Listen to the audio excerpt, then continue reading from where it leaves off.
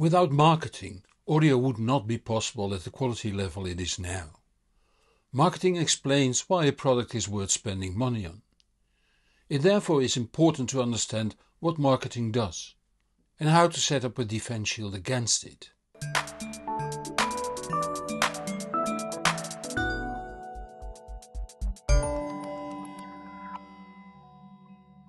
Let's start with my frustration. I don't like going to large consumer electronics shows, not only since they offer a far wider product range than I am professionally interested in, like TVs, smartphones, tablets and the like. Sometimes even kitchen appliances like microwaves. But that's not the main reason. It's the press conferences where large electronic companies declare they are the biggest, the best and have the biggest turnover. It's already quite some time since I visited the Funkausstellung in Berlin. Years ago there were three companies that each declared to be the biggest player in the TV market. They each used turnover figures of the screen sizes they were the biggest in during a given period, each using another period of course. Simply analyzing the press kits afterwards made that all clear. By the way, you're not supposed to ask questions about it during the press conference, at least if you want to be invited the next time. Luckily, this is different on the audio shows you and I visit, simply because the audio market is too limited to be able to afford professional marketeers. But that doesn't mean everything a manufacturer or distributor in our market uses as arguments in favor of their products is true. Let's have some examples.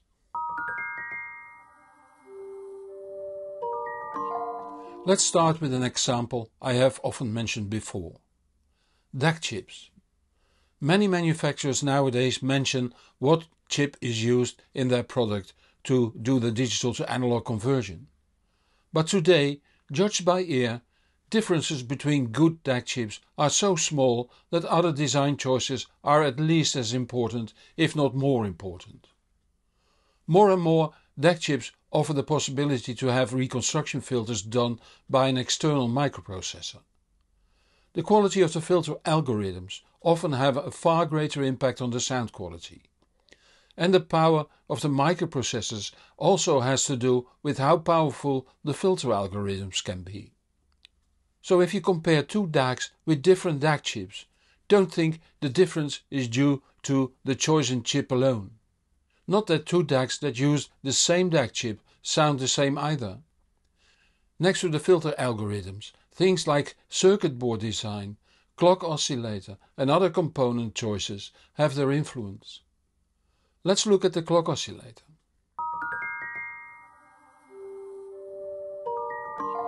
Everything digital works in stepped processes. Like walking is a stepped process, alternating one leg for the other, resulting in a forward motion.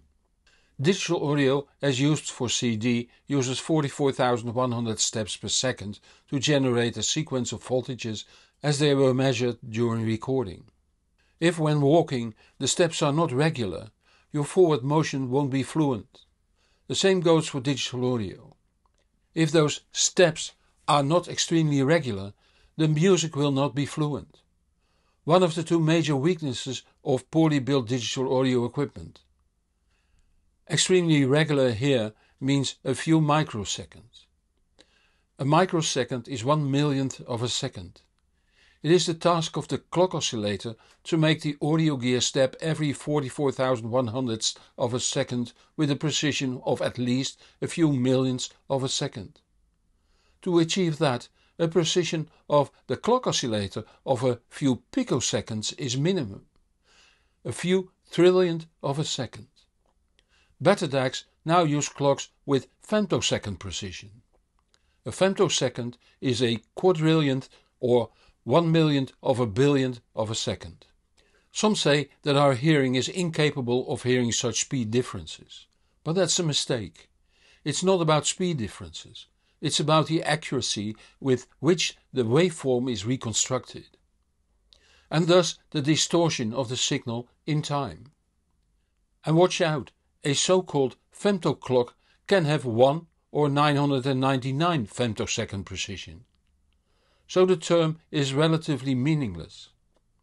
And that's apart from the fact that the character of the deviation from perfect timing is important too.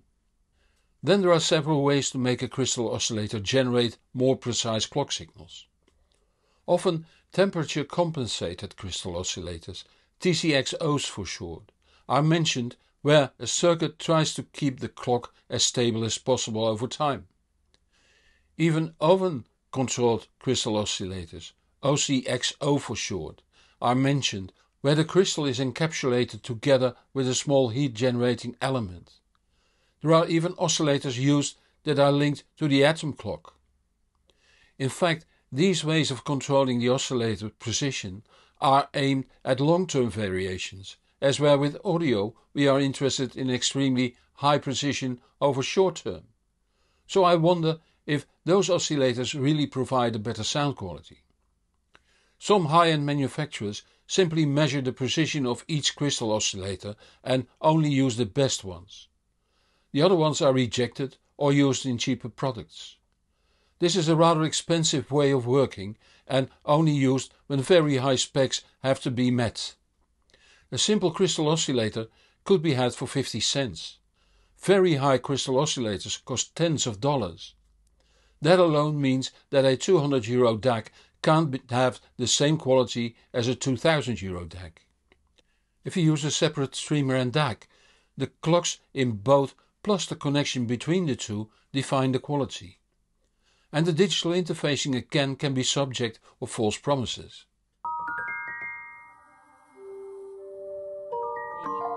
In certain circles on the internet, the I2S interface is believed to be the best digital interface between the source and the DAC, and thus that the DAC with an I2S interface is better than one without. That can be the case, and will be in a number of cases. The interface became popular because a high-end brand introduced very well designed equipment using I2S. They consequently promoted it since it then was a unique technique with very good results. So the internet understood I2S was a thing to have and since simple implementation of I2S is relatively cheap, other manufacturers started to implement it as well but I2S stands for IIS or Inter Integrated Circuit Sound. It is a standard for sending digital audio signals between chips within a device.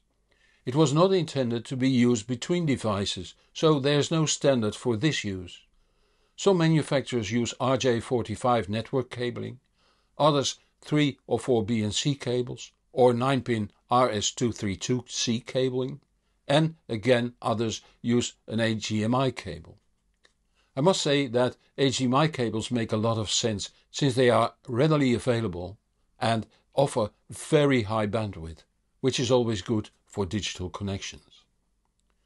The problem is that not all manufacturers use the same pinout, so always check if the two devices you want to connect using I2S over HDMI cable are compatible. The reason for those high-end manufacturers to choose I2S to interface the devices is that it uses separate lines for the clock signal, word select that indicates if the data is for the left or the right channel, and sequentially a left and right audio data. That makes it easier for the receiving device to link to the clock of the sending device. But connecting two digital devices over I2S is not as easy as it looks. Chips outputting I2S will not necessarily match the impedance of the cable or cables used. So a driver chip might be needed adding to the cost and complexity. The sending and receiving chips need instant voltages and very low pollution on the power lines to perform very good. See my video Why Digital Circuits Influence the Sound Quality if you want to know more about this. Like the AES-3 interfaces, I2S is isochronous, so the quality of the clock signal in the sending device defines the jitter later on. Which brings us back to the clock oscillators and the quality of the circuit board design and the power supply. It can all be done good, very good even, but not for little money, not even in China. Other digital interfaces like AES, EBU, SPDIF and USB Audio Class 2 might outperform I2S if they are better implemented. Comparable things play a role in amplifiers. Here, all other things being equal, amplifier architecture is often used. Class A designs are well known for their sound quality. They have no crossover distortion but also relatively low output power while consuming a lot of power and thus generating a lot of heat. Heat can affect longevity. Class AB always has some crossover distortion. Depending on the design, this can be rather low, but in poor designs it can be high. So the sound quality can vary between very good to rather poor. Class D has enormous control over bass, very low power consumption and thus low heat development, but poor designs can sound glassy, nasal and unnatural. Class G works with a dual power rail, offering a Class A-like sound character at normal listening levels and Class AB-like sound character at high listening levels. It might be clear that Class G is more complex to build and thus will cost more. Again, not all Class A amps are a good choice. In the past there have been Class A amps that after a few years broke down because of the influence of heat on capacitors and transistors. The other classes also know their better and worse designs, each with its own problems. Many manufacturers use the amplifier's class often as a proof of quality. In the beginning of Class D, when the sound quality overall still was poor, manufacturers proudly stated that their amp was Class AB. Products for the real connoisseur would advertise their amps as having Class A. Now that Class D is more economical and has improved sound quality, Class D often is advertised emphasizing the fantastic bass control. In reality, I know amps in any class that I wouldn't mind owning. It's better to check if the amp and the speakers go well together, for that's more important. Output power is another thing that can be used for marketing. Some manufacturers specify power output at 3% distortion at 1000 Hz in 8 ohms. That way the power supply need not to be large and thus saves money. But there might be poor bass control and microdynamics. A way around that is using a switch mode power supply. That can offer very good results provided the power supply is very well designed and not the cheap Chinese ready-to-use modules used in low-end products for those can deliver good bass response but will have poor mids and highs. If the power output is specified for 20 to 20,000 Hz, chances are sound quality is better, but again no guarantee for a real good sound. For it might be able to survive a distortion measurement, but is it able to deliver current for a heavy bass signal or current demanding speaker? Again, listening to the amp in combination with your speakers of choice is the best advice. Speaking of speakers. Also with speakers there are many urban legends. To name a few, ported systems have poor lows, transmission lines have slow lows, closed boxes sound boring, electrostatics are far better in transients, and so on. For the mid-range and the tweeters there are all kinds of beliefs too. Let's take the electrostatic speaker as an example. It is supposed to be ultra fast because of the ultra thin membrane that produces the sound. And therefore they should be way better than electrodynamic speakers. I've had several electrostatic speakers for in total almost three decades. Quad ESL 63s, Van Medevoorts and two types of Martin Logans. They all had roughly the same disadvantage. They needed electrodynamic woofers to be full bandwidth and they suffer from dynamic compression in various degrees. For when the membrane moves to the front or back to set the air in motion, the tension on the membrane increases.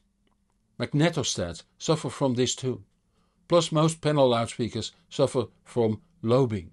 You can easily hear this by playing music over the system and moving your head to the sides. You will hear a phase coloration of the sound. No problem if you're on the hotspot and sit still, of course. By the way, the electrostats I own suffered less from this due to their constructions. The quads had a separate central panel for the mids and highs.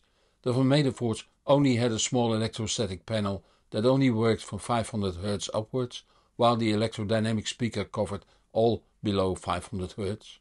The Martin Logans had curved electrostatics for mids and highs and electrodynamic lows.